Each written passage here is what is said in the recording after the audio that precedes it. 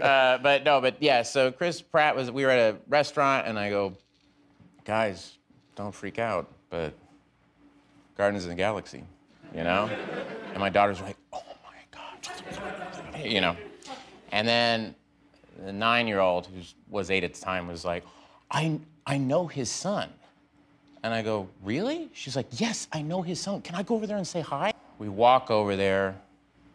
I tap him on the shoulder. Hey, Chris, sorry, but my daughter knows your son. And my daughter goes, I don't know his son.